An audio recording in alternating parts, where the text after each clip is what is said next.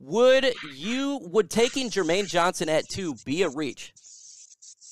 It's a risk more than a reach. I don't think any of the edge rushers outside of Aidan Hutchinson and I guess you could say Kayvon Thibodeaux. I mean, outside of those two, they're all a reach, really, in theory. But it's a risk because if Aidan goes number one, and you decide to take Jermaine Johnson or, like I said, Travon Walker over a Kayvon Thibodeaux, and then he works out, I mean, this is a GM's job on the line. We're talking. This is the future of a franchise.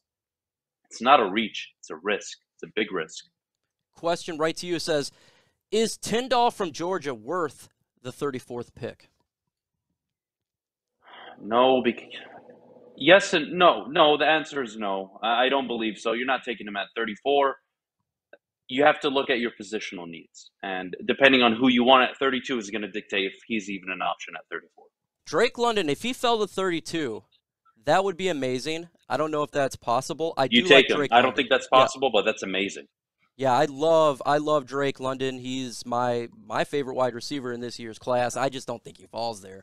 But no doubt, I'm with you. You just got to grab it. What quarterback would you take at 32, 34? Matt Corral or Sam Howell by Mitch McConnell? Matt Corral because I rather him bust so hard where I just look at the pick and I'm disgusted than to take Baker Mayfield 2.0 and get stuck with him throwing 20 interceptions a year and having to say, oh, well, at least he can throw for 30, 100 yards. Yeah, please, God, no. Okay, so Nick says, let's take Malik and trade for Baker. Well, I think that would be a punch you in the face moment. I think that would be eating chainsaws, taking battery acid, and putting in my eyes if they went that route. But uh, good, good Faith in the front there. office if that ever happened. I would think Brad Holmes would uh, fire himself. Let's see here. No Jordan Davis at two, but at 32. Would you take Jordan? If he, I don't think he's going to fall 32. Jordan Davis, he could be gone. Yeah, again, the, the Lions are picking at the beginning of the first Yeah. round and at the end of it. You're not in a position where you're picking like two and eighteen, where that's a legitimate conversation. At 32, I mean, everyone who's anyone is likely going to be off the board. And you know, my theory is, can the Detroit Lions evolve and draft someone like a T.J. Watt at 30? And I'm not talking about the position; I'm talking about the caliber player.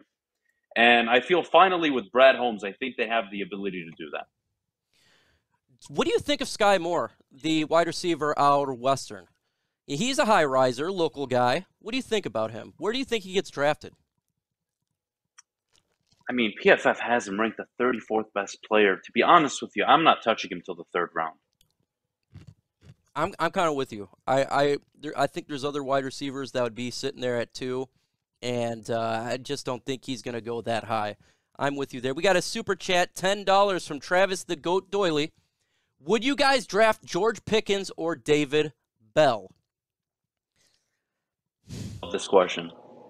That's a great question. I'm taking Pickens all day, actually.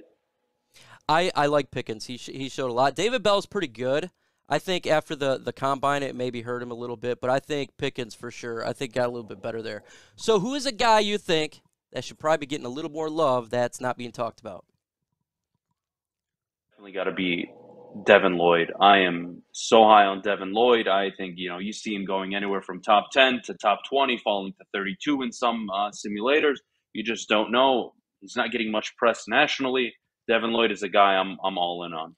I was I was looking at Devin Lloyd week four last year, and I said this is my favorite linebacker in this year's draft. I said there's no way he would fall to 32. And then lately, I'm seeing mock drafts where he's fallen to that far. I say if that happens, you have to run up and put in the ticket to get this guy. Freaking on Woodward if he falls to 32.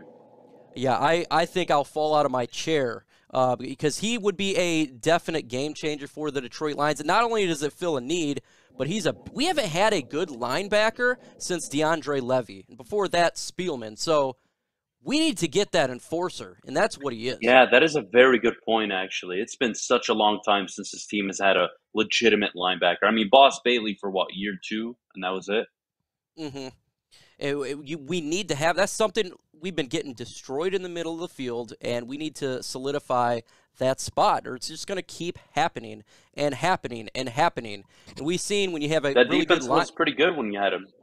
Oh yeah, oh yeah, Mo- most definitely.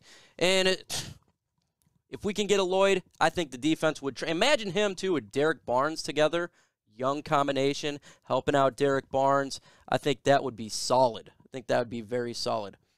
Would you trade to the Giants for five in their second and fifth?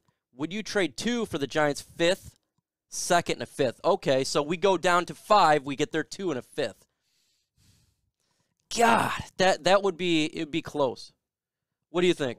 That's a tough decision. Yeah. Um, I love the idea. My concern is I lose control of who I can select at five. Yeah, that would be my concern as well. You know, but getting another second round pick, such a deep class, specifically in defense, it would help out. It would be a tough one. That would be a hard call. You're still getting less than generally what you would get in a, in a normal draft, but there's just not that number one guy. There's not that quarterback. There's not a quarterback. That's Yep. the thing. There's no quarterback. You trade. You try to trade up in last year's draft from five to two. You're giving up two first, uh, future first round picks minimum. A hundred percent. You have to take less this year. You have to take less. Ten dollars super chat from my guy Travis the Goat. Would you draft Nik Bonitto? And if so, what round? 34, depending again how the board shapes out, what you do at number two, and 32 is really going to dictate that. But he's a guy I don't see being available after 40, 42. So, I mean, unless you're able to trade back, I don't see that happening. And if you're taking an edge at two, well, that kind of eliminates you from taking an edge rusher because you just signed Charles Harris. So that's kind of over and done with. You're good uh, in terms of depth at the edge position. Folks, make sure you go ahead and hit that like button. We are three away from 100, 271 in the building. I will get to your question if I get to it. Uh, just repost it if I miss it. Did the Lions do poorly in free agency? I'm going to say, look, a lot of people wanted to spend a lot of big money in free agency. I understand the frustration. I am frustrated at some parts, but at the same time, just like Adham was saying earlier, do you want to be the Jacksonville Jaguars and throw a boatload of money at players who are not getting paid? They gave a wide receiver three slash two number one money. I don't want to see that anymore. We did that with Trey Flowers. We've done that with selected free agents in the past, and it's hurt us for years down the road. We literally just released Trey Flowers, and ever since we had him, it hurt our books. I don't want to make that same mistake. I think it's really important to build through the draft and get selected free agents.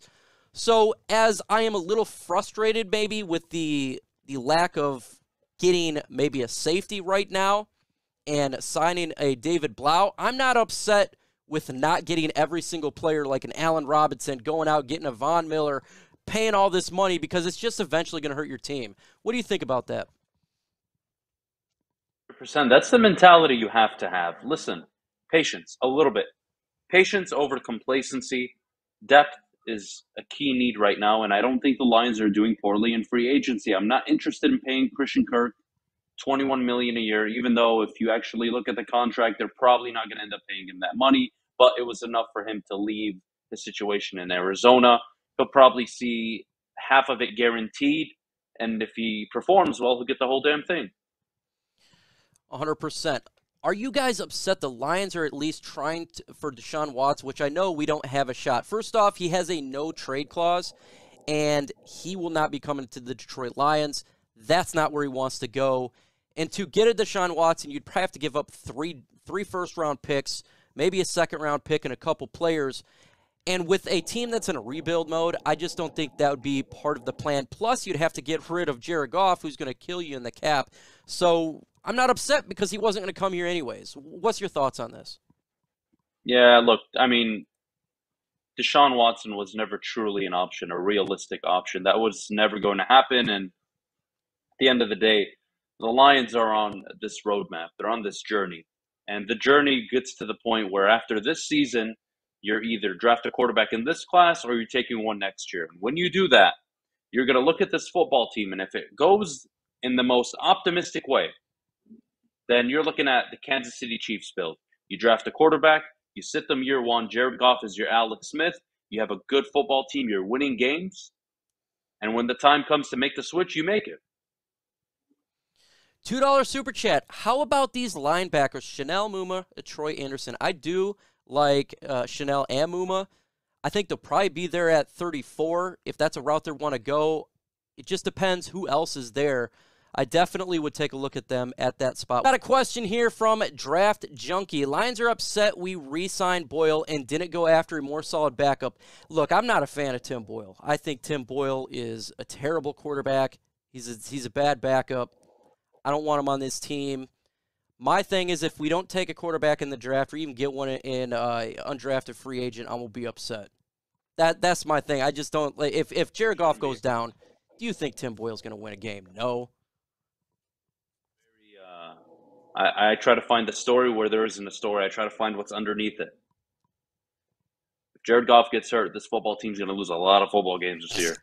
and you don't want a backup quarterback going in and messing up that draft pick. I'm telling you. They're all in on Jared Goff this season. They've already made that commitment. He goes down, hell, we'll take a top five pick. I'm game for it. Ready for that top five pick, man. Yeah, if, if Goff goes down, it's gonna be it's gonna be a long season, folks. So we just gotta pray that he doesn't go down. I don't want another top five pick again. We're actually saying that about Jared Goff. I know. You know, so funny is last year during the season, the first six, seven games, I'm like, please just put in somebody else.